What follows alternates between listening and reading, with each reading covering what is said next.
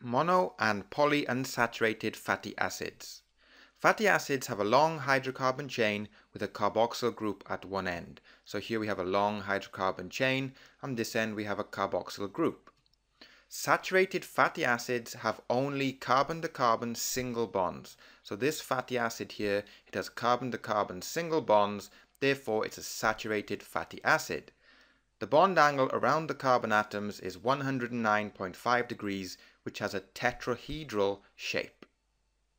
Unsaturated fatty acids have one or more carbon-to-carbon double bonds, and the bond angle around the carbon-to-carbon double bond will be 120 degrees, which is trigonal planar. Monounsaturated fatty acids have one carbon-to-carbon double bond. Polyunsaturated fatty acids have more than one carbon-to-carbon double bond.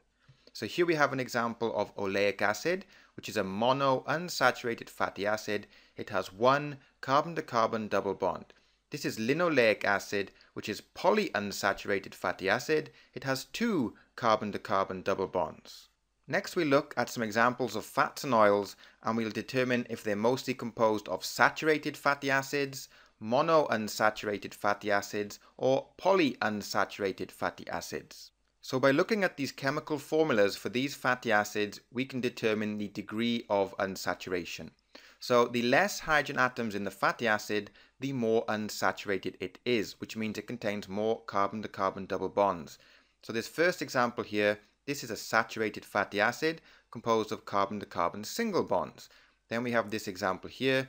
This contains uh, one carbon-to-carbon double bond, so therefore it's monounsaturated. And the last two examples, they contain less hydrogen atoms, so therefore they contain more carbon-to-carbon double bonds, so they are polyunsaturated fatty acids. So if we start with tallow, we can see that it's mainly composed, well 52% of it is composed of saturated fatty acids. Then if we look at olive oil, we can see it's mainly composed of monounsaturated fatty acids. And the last example is linseed oil, well, that's composed mainly, we have 18% of this fatty acid, which is polyunsaturated, and 45% of this one, which is also polyunsaturated. So linseed oil is mostly composed of polyunsaturated fatty acids. And finally, peanut oil is composed of 47% monounsaturated fatty acids and 46% polyunsaturated fatty acids.